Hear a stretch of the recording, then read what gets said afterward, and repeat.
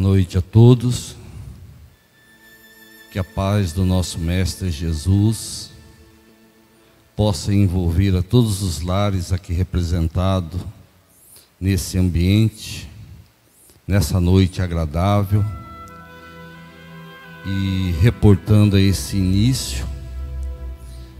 É, a nossa fala será feita com o início da prece do servidor de Chico Xavier, né? que fala-nos assim: Senhor, ensina-nos a trilhar a luminosa estrada do auxílio, dá-nos força para poder destruir essa pesada fortaleza de nossos próprios erros e coragem para podermos abrir caminho da nossa própria libertação.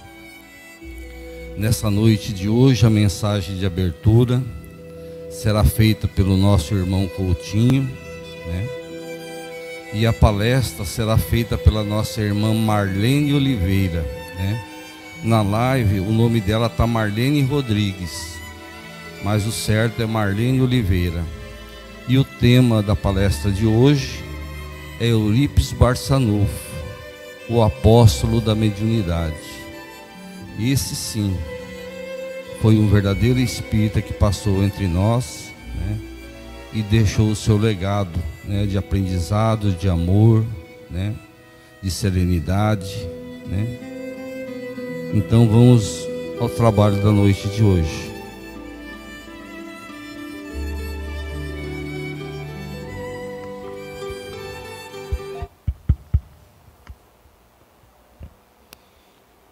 Noite a todos. Fazer algo. Não te deixe anular pela hora vazia. O comodismo é ponte para o remorso. O tédio resulta da falta de iniciativa. Ainda hoje pode ser útil ao bem, valendo-te dos recursos que possui uma palavra de consolo a quem sofre, um momento de atenção a quem experimenta o abandono, um simples pedaço de pão a quem tem fome. São atitudes que podem te preencher por dentro, permitindo que alcance a plenitude interior. Entretanto, se não te consideras em condições de ser útil aos outros, fazem algo que, algo em favor de ti mesmo. Evita o pessimismo, abre espaço para o estudo elevado, alimenta as ideias nobres, sintoniza com o alto através da prece. Lembra que a oportunidade que te sorri agora, convidando-te à paz e ao progresso, é única, cabendo a ti mesmo seguir para a felicidade ou a frustração, mediante a escolha que fizeres. Neste momento, vamos todos sintonizar com as bênçãos divinas e que Deus, nosso Pai, possa envolver todos nós e que a paz possa penetrar em nossos corações, em nossos sentimentos e que possamos, no dia de hoje, apreciar a lição a palestra, que possa fazer luz às nossas consciências, encorajando-nos naquilo que temos necessidades e que as bênçãos de Deus possa estar sempre conosco em todos os momentos de nossas vidas. Obrigado, Senhor, por estar aqui neste momento sublime nesta casa de encontro fraterno, que possamos preencher os nossos sentimentos. Muita paz, que assim seja.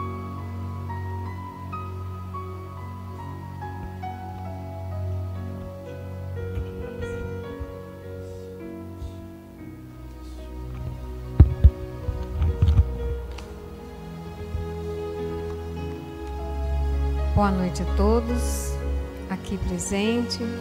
Que a paz de Jesus continue a nos envolver. Aos amigos que nos acompanham pela casa, né, de casa, nós também, nossa boa noite, nossas saudações de muita paz.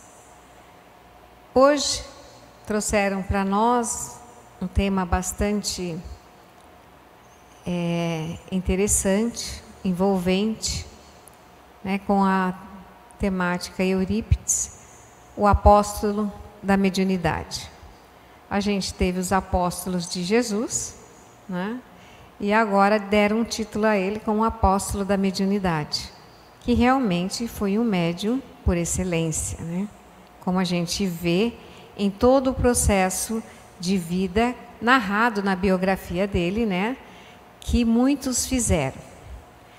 Mas com riqueza de detalhe, quem mais trabalhou essa biografia foi Corina, né? Ela que teve a, o privilégio de estar próximo depois dele em espírito e de lá, né, ele conseguiu trabalhar todo o aspecto da vida que ele aqui teve nessa última encarnação. Porque até então nós temos também é, notícias de encarnações dele enquanto outras personalidades. A época de Jesus narra essa mesma autora na Grande Espera, um título do livro dela, Grande Espera, onde Eurípides também aparece como um membro da seita dos essênios e ele lá então trabalha pela verdade, pela espiritualidade, pelo humanismo da época. Aí depois a gente tem também uma outra personalidade narrada, né, para nós através do, livro Tormentos da Obsessão, aonde ele aparece como Rufus no livro Ave Cristo. Também um fiel seguidor de Jesus. Teve como é, uma sentença de morte bastante cruel, mas não negou Jesus. A sua fé pelos ensinamentos de Jesus, não o abalou. E ele continuou firme e veio a desencarnar de uma forma bastante cruel. E essa última agora, aqui no Brasil, enquanto Eurípides, nasce, é, Eurípides Barçanufo, ele viveu em Minas Gerais, em Sacramento, uma pequena cidade onde é, Atualmente deve ter uns 30 mil habitantes. Ela é pequena. E a época era menor ainda, né? Então, ele nasceu de um casal cujo casamento foi arranjado, né, nos termos assim, mas um arranjo mais pela providência divina do que aqui da terra mesmo. Pela, pelo êxito que a relação se constituiu nota-se que foi um casamento da providência divina. Arranjado porque o pai dele estava querendo se esvair do recrutamento militar. Ele já tinha 18 anos. Então ele se consorciou com a dona Meca, que à época tinha 14 anos. Então se, se consorciaram e Eurípides foi o terceiro filho de 15 que o casal teve, tá? Mas um, foi uma harmonia, narra-se que a harmonia na família era muito grande. A fraternidade imperava entre eles.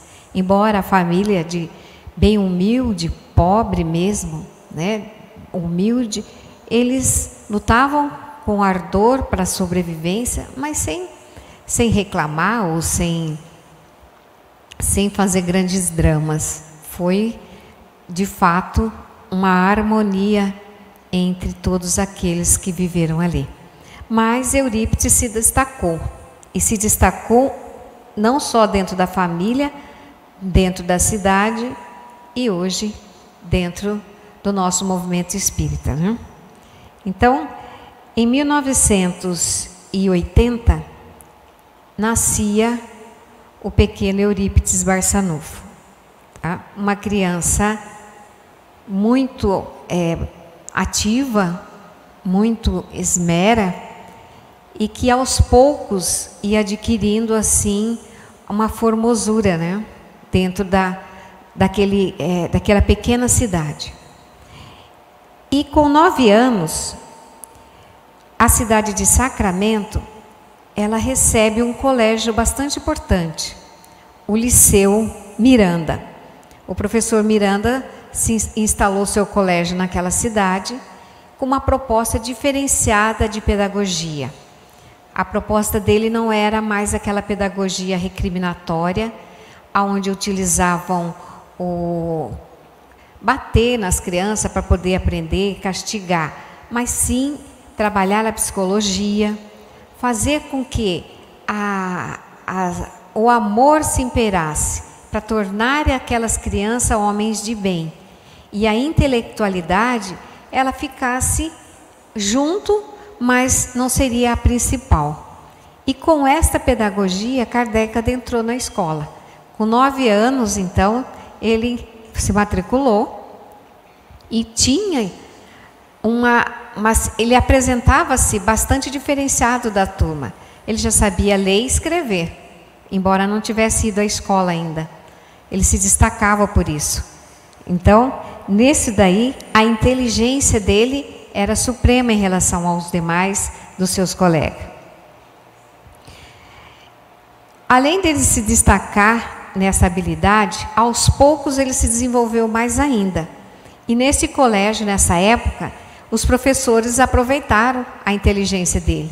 Então, ele de aluno, ele começou a ser monitor, ajudar os coleguinhas na tarefa, no seu desenvolvimento escolar. E isso foi ganhando ele grande espaço e para que a sua inteligência se expandisse também. É uma prática nossa até hoje, dá oportunidade para aqueles que querem avançar e aí estimular outros para que eles também possam é, se, é, aumentar a sua autoestima e trabalhar a sua inteligência. Então, ele tinha essa peculiaridade, se destacava. Aos poucos, ele começou a se destacar na literatura dentro do colégio. E lá ele fundou ele fundou o Grêmio Sacramentado, que era um grupo de estudantes onde eles se desenvolviam a arte através da poesia, através do teatro, da música, mas com o objetivo de estimular a fé, a esperança e a caridade. Ele tinha isso. E ele se destacava nesse grupo. Só que ele fazia questão que ele não queria ser é, reconhecido como ator né? não estava ali para isso. Ele queria ser reconhecido como um comunicador de Deus, um comunicador das boas é, lições do Evangelho de Jesus. Embora a época né, não tinham a, o hábito da leitura da Bíblia. Quando mais tarde ele ganhou, então, é, a Bíblia de um, de um, de um padre, e onde ele conseguiu é, estudar os ensinos de Jesus. Mas ainda aos 16 anos, aparece uma grande dor na, na vida de, de Eurípides. A mãe dele foi dar à luz ao 11 filho. E com isso apareceu uma doença que não era fácil de diagnóstico à época. E era um grande sofrimento para ela, para a família e principalmente para Eurípides. Ela sofria de desmaio que eles falavam, alguns médicos diagnosticavam como histeria e outros como epilepsia. O fato é que, em, diante de a grande comoção emocional, ela desmaiava e demorava para voltar. Então, ela não podia ver um grito, não podia ter um barulho, não podia ter uma notícia, que ela se comovia e saía, né? E desmaiava. E isso era assim muito difícil para o Eurípides. E ele se dava então como um enfermeiro incansável para a mãe. Estava lá sempre amparando a mãe nessas horas assim, um pouco mais difícil para ela. Né? E ficou-se, durou-se grande tempo isso daqui, essa doença da mãe dele. Tanto é que ela ia, eram católicos fervorosos, iam à missa, se confessavam, né? Todo ele ia todo domingo ia à missa, mas só que toda vez que ela chegava na, na igreja, na missa, ela desmaiava. Chegava, desmaiava.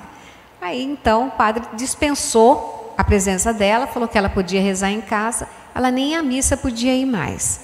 Então era para ele um grande desafio descobrir o que a mãe tinha e ajudá-la amparando nesse momento. Bom, nessa época, como fervoroso católico, ficou sabendo que eh, a 14 quilômetros de Sacramento havia uma fazenda de colonos. A época, né, é, os que estão mais é, avançado, vamos dizer assim, na época de hoje, né? Lembra muito bem que as fazendas antigamente, principalmente na região de Minas Gerais, elas eram extensas, né, com grandes plantios, principalmente de café, mas aqui não cita sobre isso, mas era uma fazenda grande. Haviam 30 casas para abrigar os colonos, os que trabalhavam na fazenda. E nessa, nessa fazenda, o tio dele, senhor, que eles conheciam, irmão da mãe dele, também trabalhava na fazenda e presenciou fenômenos mediúnicos, desconcertantes para a época, de efeitos físicos, o que assustava muita gente. O tio até tinha uma mediunidade bem sutil, mas que nessa ocasião ela aflorou mais. Quando ele então até então percebia alguns vultos, alguns espíritos, em meio àquela turbulência, ele começou a presenciar mais ainda. E ele queria então ajudar aquilo ali. Como ele tinha um conhecimento do espiritismo intermediado por alguns espanhóis, patrão dele, que tinham estudado Allan Kardec, ele começou então a trabalhar no sentido de amparar aquelas famílias que sofriam esses, esses é, efeitos físicos, esses fenômenos de efeito físico. E nessa, nessa ocasião, eles começaram então um trabalho ali na fazenda para diminuir aquele efeitos através do atendimento, né, de reuniões desobsessivas. Então começou a fazer a prática das reuniões naquela fazenda. E aí, ele então foi para casa uma, uma manhã, ele foi até a casa do, da irmã dele. E lá, na casa da mãe do, do Eurípides, ele pernoitou. E nessa pernoite, ele, como é, Eurípides gostaria muito de saber sobre essa nova doutrina, e tinha no íntimo dele um grande desafio, que seria converter o tio dele para novamente ao catolicismo, tirar isso da cabeça dele, ele não perdeu a oportunidade para isso. Como o tio ia pernotar, ele convidou para dormir no quarto dele para eles conversarem. Só que as perguntas de Eurípides eram muito profundas e o pouco estudo que o tio tinha não tinha como contra-argumentar a altura dele. Então ficou por isso mesmo. Mas numa outra ocasião, quando então ele retornou a Sacramento, o tio já foi com um livro para presenteá-lo. E era o livro de Leon Denis, né? Que é aquele livro do Leon Denis depois da morte. Presenteou Eurípides. É um livro de 334 páginas. E Eurípides passou a noite inteira lendo o livro. Então tinha resposta para ele. Então ele leu, leu, leu rapidamente. Só que ele não se contentou. Depois ele passou, quando o tio foi embora, deixou o livro com ele, ele passou a estudar o livro para que ele pudesse ter um conhecimento mais profundo. Ficou meio quieto com isso e a vida continua. Nessa ocasião, ele tinha por volta de uns 21 anos. Tá? Continuava estudando, continuava se destacando no colégio. Quando foi mais ou menos com 22 anos, o professor Miranda sugeriu ao pai de, de Eurípides que investisse nele na carreira dele, que levasse ele para uma outra cidade onde ele pudesse continuar os estudos que ali não oferecia. O pai dele, então, na época, já tinha feito uma boa melhora na situação financeira. Ele havia se prosperado através do árduo trabalho com uma loja de comércio, ele conseguiu, com as suas economias, o seu equilíbrio, ele conseguiu sair daquele estado de pobreza extremo e ter um recurso um pouco melhor. E isso permitia fazer com que o filho fosse para o Rio de Janeiro estudar e ao mesmo tempo trabalhar. Só que ele tinha que ir para uma escola preparatória, ele tinha que se matricular. E levou Eurípides para lá. Chegando lá, ele se preparou, ficaram lá 20 dias, ele foi aceito na escola e aí regressaram para efetivar a mudança. Só que, quando ele chegou, todos estavam radiantes, claro, um filho na faculdade de medicina, não é tudo muito feliz todos muito felizes, muito festejando muito essa nova estadia do irmão tão querido. A mãe ficou radiante de felicidade, ajudou na, na montagem das malas dele, né, para ele poder ir. Só que quando ela estava ali ajudando, na, terminando de montar a mala, de arrumar a mala, ela teve um grande desmaio, que ela ainda sofria daquele mal. E demorou muito para ela voltar. Nisso, ele percebeu que o que motivou o gatilho para ela desmaiar foi a perda do filho amado. Embora ele fosse ser feliz, mas ela ia sentir a dor da separação. Então, ele percebeu isso. E como ele percebeu isso, ele falou assim: não quis ir. Narra em outro livro que ele preferiu ficar com a mãe, que era a missão dele. E nesse livro narra que ele simplesmente ficou ao lado dela. E quando ela retornou, já não tinha mala mais nenhuma arrumada. E ele nunca mais falou nessa viagem, nesse, nesse curso que ele iria fazer. Embora a medicina fosse uma grande paixão, um grande sonho na vida dele. Mas ele preferiu ficar com a mãe preferiu é, ficar em sacramento e dedicar-se o tempo dele com a família e com aquelas pessoas ali naquele espaço. Bom, continuou a vida dele, se dedicou ainda muito mais aos estudos. Tá? O professor Miranda, dono do colégio, permaneceu na cidade por mais tempo para amparar aquela inteligência.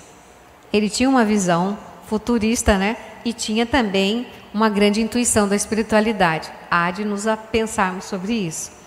E ele ficou ali para ajudar o, o Eurípides, mas Eurípides avançou mais ainda. Dada a circunstância que ele não pôde ir, motivou nele o estudo intensificado, mas autodidática. Ele estudava cada vez mais e se interessou pela medicina homeopática. Conseguiu estudar atravessou isso, esses momentos difíceis, conseguiu trabalhar até que ele conseguiu manipular as fórmulas para curar a mãe dele. E ele conseguiu curar a mãe dele, é o primeiro grande desafio da vida dele, curar a mãe dele daquele grande mal que os médicos não curavam. Então ele conseguiu através da homeopatia. Isso já reconfortou-o muito. E com isso, despertou nele cada vez mais a prática no bem. E dentro da cidade, ele era o que mais participavam de tudo ali. Né? Como se diz é, dentro do nosso movimento. Você quer convidar alguém para trabalhar dentro, fazer um determinado trabalho aqui? Chama aquele que tiver mais, mais ocupado, porque aquele que tiver mais ocupado, ele não nega nada, ele vem e faz. Não é? Não é verdade? Então, ele era aquele que estava em todos os lugares. E ele então, naquela ocasião, ele conseguiu, com o recurso do pai dele e dele mesmo, montar a farmácia homeopática. E nessa farmácia, ele dava o atendimento àqueles mais desfavorecidos, os pobres, assistia aos pobres. Ele dava consulta e entregava a medicação. E às vezes ia também fazer o atendimento em casa, visitava aqueles que estavam ali. Mas com isso também trabalhava dentro da, eh, da comunidade, fora dessa, é, é, dessa assistência que ele dava. E ele fundou, então, estava lá junto com os fundadores da Irmandade São Vicente de Paulo, que toda cidade interiorana tinha, a, a, que era assistência aos menos favorecidos. Então, ele também trabalhou na assistência, ele era um dos diretores né, da Irmandade São Vicente de Paulo. Trabalhava com afinco, mas foi vereador, foi né, dentro da política, ele foi, foi presidente é, dos grêmios lá dentro da escola. Não faltava espaço para ele trabalhar.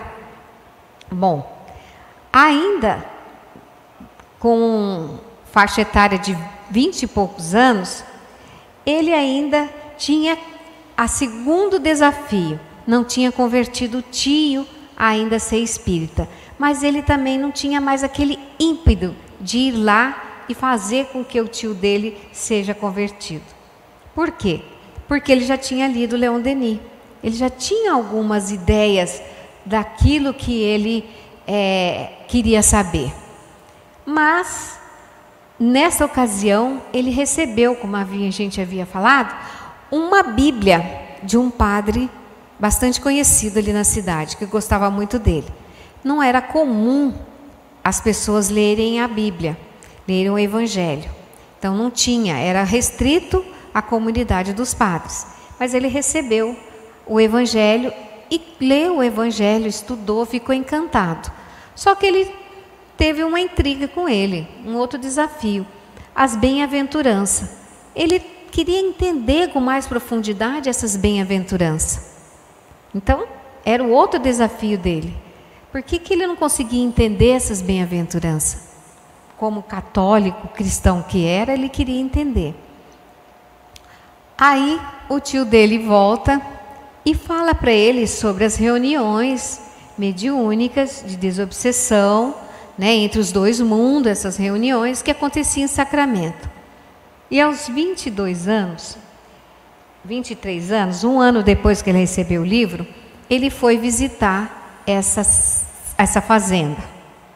Ele foi, mas não avisou ninguém, para não assustar a mãe, para não ter nenhum, causar nenhum impacto, porque aquilo ali, aquele, aquelas reuniões eram tidas como diabólicas.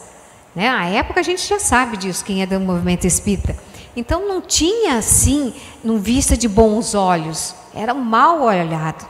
Eram coisas do demônio, eram coisas do mal. Tinha medo, então ele para preservar a família não falou nada, foi sozinho, ele com o companheiro dele, né, com um amigo foram para lá.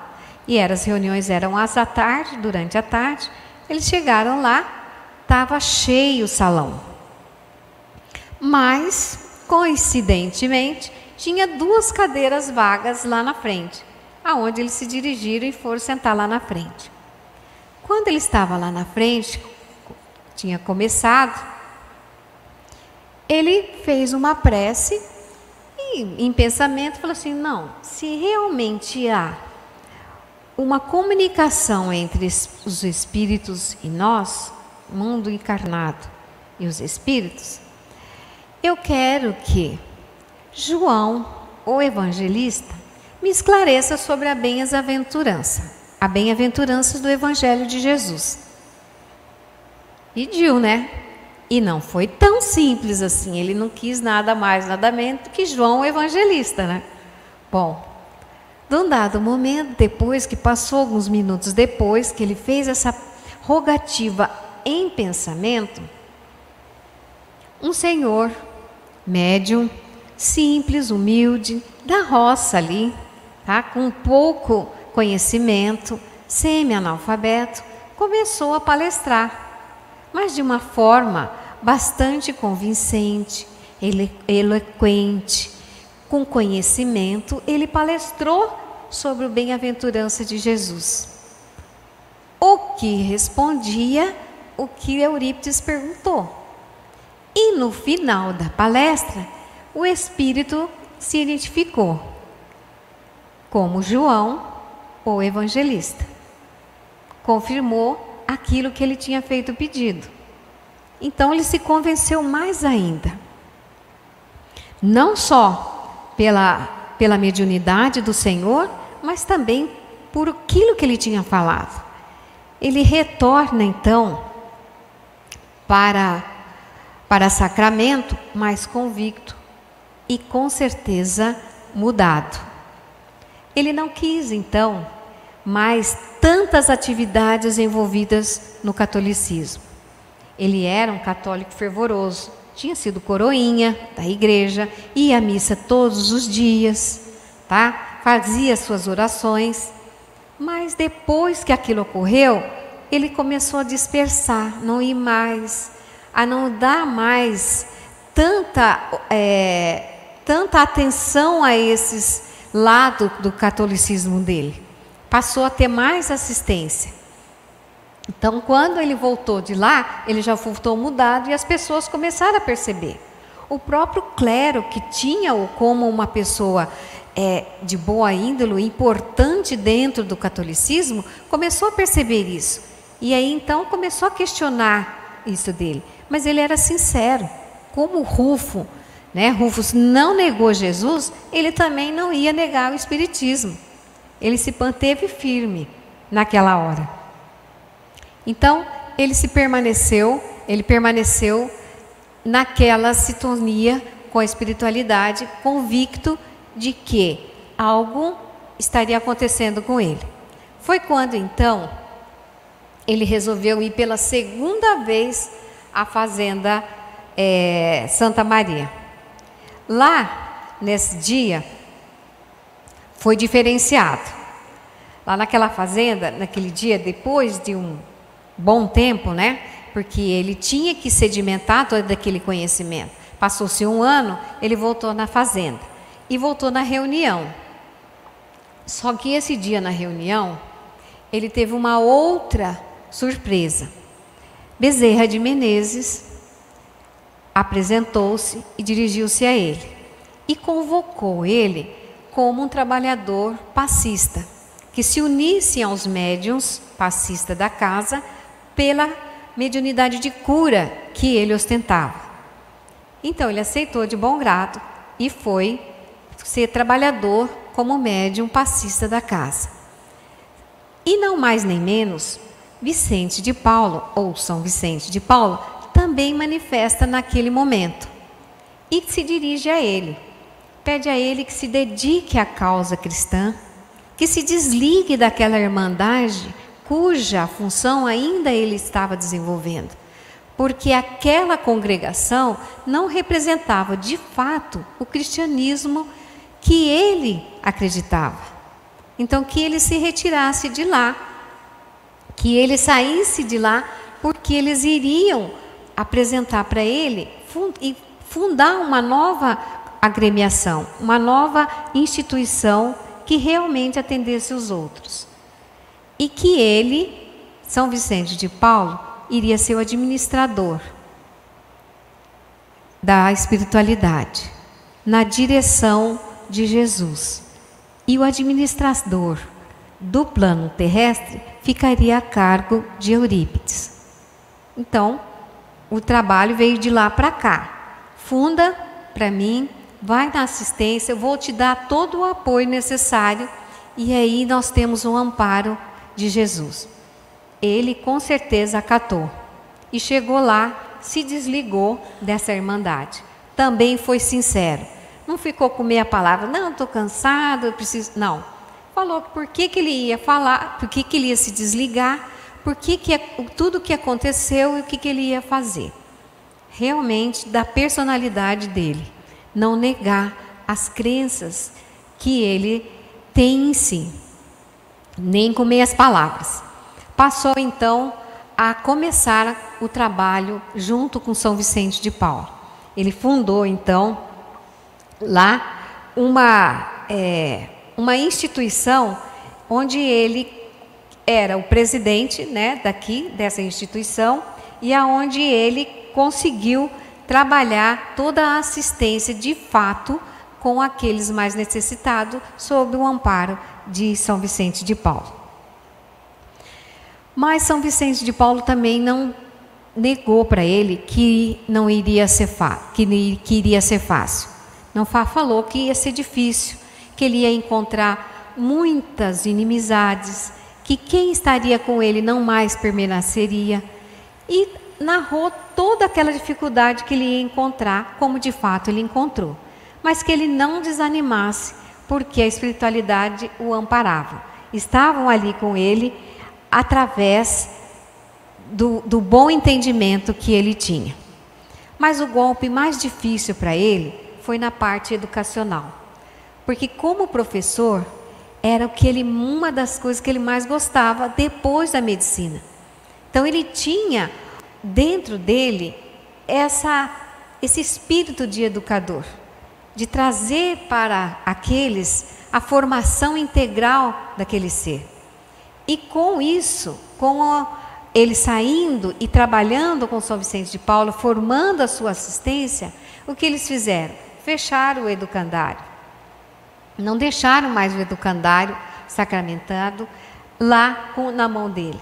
Isso deixou muito triste, porque até então esse instituto tinha sido fundado por ele. Né? Ele que conseguiu fazer com que a escola se mantivesse naquele momento. E aí os pais então não quiseram mais trabalhar com ele, trazer essas ideias para ele. Não era mais para trazer. Bom, ele voltou-se então a trabalhar e a assistir aqueles mais desfavorecidos trazendo com ele a certeza que o amparo não iria lhe faltar. Não iria trazer com ele grandes prejuízos, apesar dos amigos não estarem com ele neste momento. Devagar, ele foi se tornando espírita. Até então, ele não era espírita. Né? Ele era um, vamos dizer, que é um empolgado, um curioso, um que gostava muito da espiritualidade. Mas devagarzinho a espiritualidade foi adentrando na vida dele e ele se tornou um espírita por completo, tá? Por completo mesmo. Aos poucos ele foi fundando a sua própria instituição. Com a, o desenvolvimento do trabalho dele, a espiritualidade recomendou que ele saísse da casa dos pais, que ele morava com os pais, e fosse morar sozinho. Por quê? Porque os obsessores iriam atrapalhar o trabalho dele, prejudicando a mãe e o pai e a família dele. E isso ele fez. E o pai dele amparou mais uma vez. Tinha recurso, comprou uma outra casa, instalou a farmácia dele lá, que atendia os pobres, e junto com ele foi as irmãs para auxiliar na secretariar todo aquele serviço. Então ele permaneceu naquela casa por um bom tempo. Mas aos poucos ele foi expandindo o trabalho dele. Ele fundou o seu próprio colégio, né? Fundou o Liceu Sacramentando, parece que era esse nome que ele tinha. Devagarzinho ele foi trabalhando. Só que os pais foram tirando as crianças à medida que uns ia fofocando com o outro. Não, aquilo ali é do diabo, aquilo é do demônio. Aos poucos foram fazendo isso. E ele então triste continuava trabalhando, medicando, dando homeopatia, trabalhando em prol daqueles mais necessitados e mesmo doendo essa toda essa é, injúria que lhes traziam. No colégio, quando ele já estava triste, quem apareceu para ele numa situação onde ele fazia uma prece foi Maria de Nazaré, ou Maria, mãe de Jesus. Até inacreditável. Mas se analisar o caso friamente, dá para saber que sim, ela poderia estar tá ali ou ser enviada a mensagem para ele. Claro, uma, uma envergadura de bondade como aquele, claro que poderia, é possível isso, né? E ela veio então trazer uma boa notícia para ele, não desamparar ele. Pelo contrário, você permaneça lá naquele local você tire do tabuleiro, da placa, o liceu sacramentano. Isso é coisa de do ego das pessoas. Coloque lá Escola Allan Kardec, que eu vou te amparar em todos os momentos. Institua lá é, os ensinamentos espírita. Traga lá um ensinamento espírita. Astronomia. Que nós vamos te amparar e eu estarei lá todas as quarta-feiras quando você for fazer o evangelho. E assim foi. E aos poucos, isso foi ganhando uma grande dimensão, porque ele teve a, a moralidade dele sobrepôs as injúrias, porque era tanto bem, ele curava tantas pessoas e fazia e trazia o bem-estar a tantas pessoas que impossível as pessoas não acreditarem nele e ficar acreditando nas fofocas. Então, esse lado do trabalho dele sobrepôs-se às injúrias e o colégio então abriu-se as portas. E eram tantos alunos que foram instalados ali que não estava dando mais. Ele começou a fazer reforma. Sabe quando começa com o espacinho, quebra aqui, com o espação e foi ganhando corpo. Mas além dessa estrutura arquitetônica, o que mais chamava atenção era a empolgação das pessoas para as aulas, principalmente das quarta-feiras. Nas quarta-feiras, ele instituiu uma coisa bastante interessante, que era o ensinamento do Espiritismo. E ele fazia com que os alunos lessem, fizessem debate, fizessem mesa redonda, instituiu quem ganhava e quem perdia em relação às perguntas e respostas. E no final, sempre tinha uma prece por ele, proferida. E nessa prece sempre vinha um espírito de luz trazer uma boa nova para aqueles que estavam ali. E eram espíritos altamente do bem. Então, ele conseguia, pelo, pela mediunidade sonambúlica dele, fazer com que Platão, Sócrates chegassem até ali e falassem: Joana d'Arc, os apóstolos de Jesus, Mateus, Lucas, tudo isso narrado no livro, não estou eu que falei, ela que está falando, narrado no livro. Lucas, alguns também bastante conhecidos, como Abraão Lincoln, Franklin, Tiradentes. Então sempre tinha uma personalidade, mas não para esparecer de vaidade, mas trazer aquela mensagem de veracidade, que aquilo ali estava assim na, na direção certa, daquele homem de bem que ele queria formar. Então, essa aula era a mais concorrida de todas. Tanto é que os pais também participavam. E ele permitia, é claro. É claro que ele permitia. Mas aos poucos, então, ele foi deixando se desenvolver a sua mediunidade. E não foram poucas, né? A gente sabe que ele tinha quase todas, se não todas. Psicografia, evidência, audi audiência, né, audição. Ele tinha o sonambulismo, que era bem, a bicorporiedade, não é? Ele tinha e ele desenvolvia muito e fazia muito bem a todos aqueles. A prática dessa mediunidade era sempre o bem para o próximo. E essa bicorporidade, ela é muito famosa.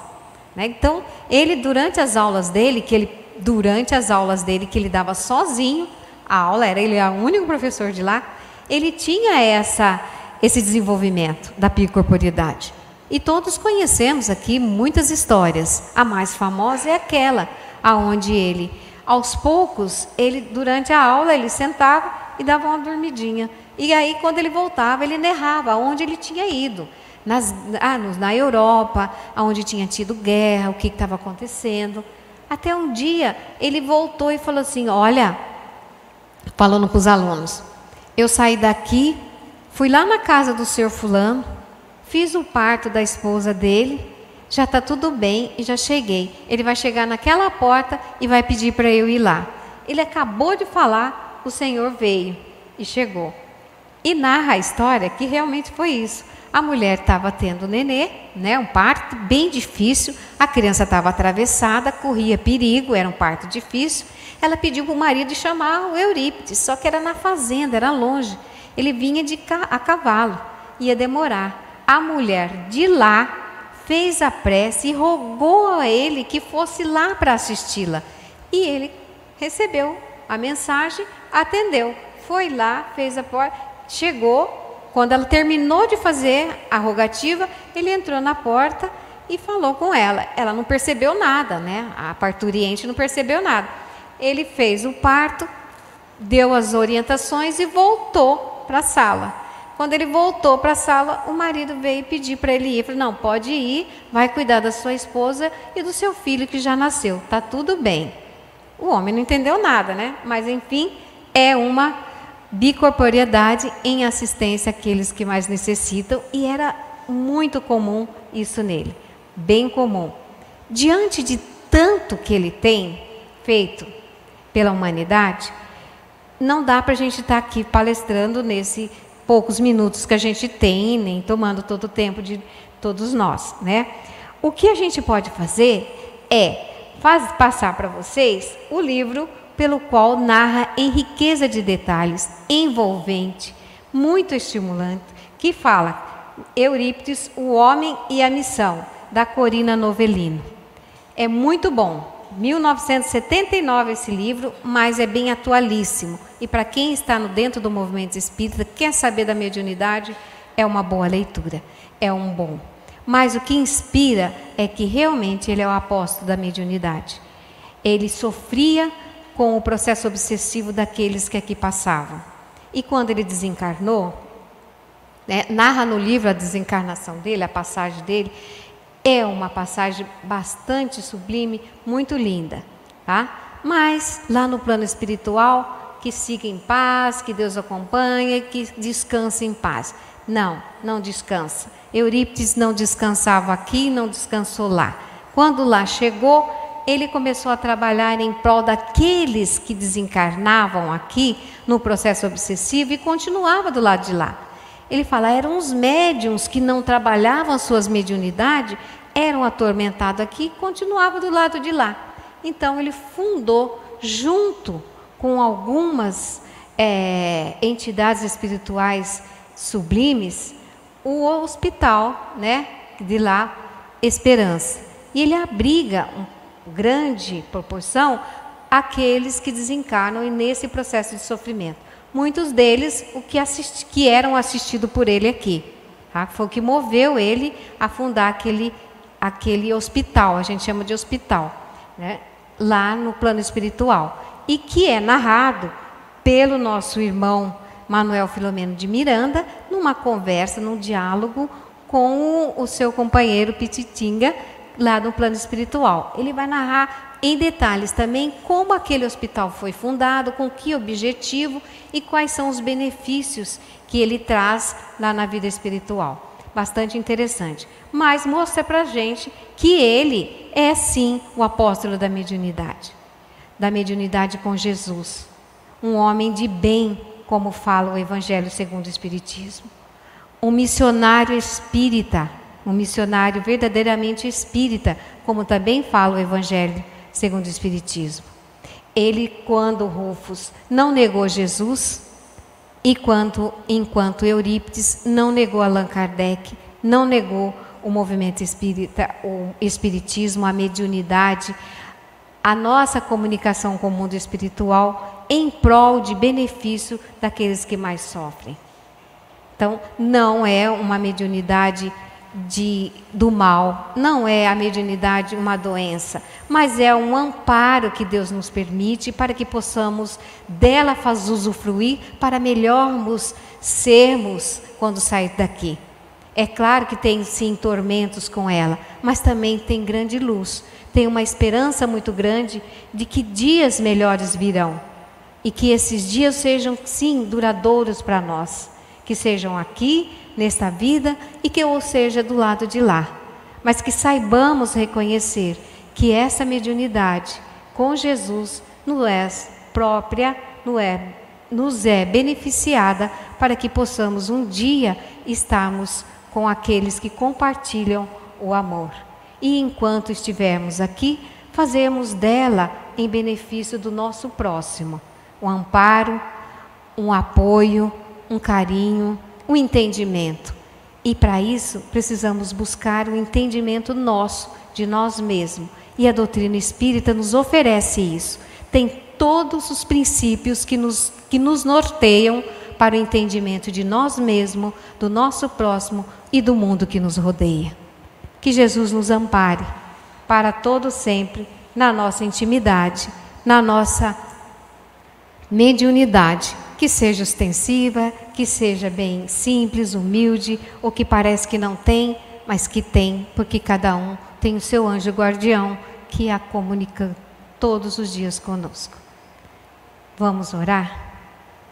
Vamos pedir ao Mestre Jesus que nos inspire da mesma forma que Eurípides, o grande irmão, foi inspirado. Foi inspirado para a prática do bem, da fé inabalável nos seus ensinamentos, naquilo que pode ser feito ao próximo, como se fosse a nós mesmos. Que os nossos desafios sejam, sim, em benefício daqueles que mais sofrem. Que possamos, sim, caminhar, abrigando em nós o amor que possamos transmitir ao outro. Que possamos fazer parte, sim, da irmandade que move o mundo para o bem e que possamos a cada dia agradecer ao Pai Maior a oportunidade da vida e de tudo que ela nos oferece. A oportunidade de estarmos aqui e revelar em nós o verdadeiro sentido da nossa existência. Abençoe, Senhor, a esta comunidade que aqui veio receber os lenitivos de amor e de paz. Que sejam derramadas a cada um essas vibrações amorosas, salutares e benfazejas. Que essas luzes permaneçam com eles e conosco em todos os instantes desta vida. E que a cada vez mais possamos iluminar e iluminar aqueles que nos são próximos. Que o Senhor de bênção nos abençoe. Que o Senhor de luz nos ilumine, nos fortaleça e possamos nós agradecer ao nosso amigo e irmão Eurípides por tudo que tem nos oferecido, por tudo que nos ofereceu e que continua a nos inspirar a trabalhar para aqueles que se encontram, Senhor, sem a Sua luz.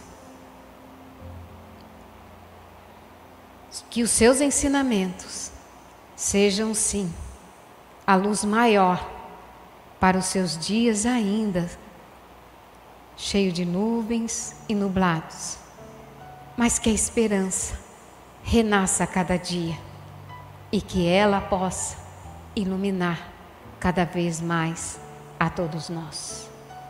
Que a paz esteja conosco e que o amor de Deus nos fortaleça, hoje e sempre. Que assim seja, graças a Deus.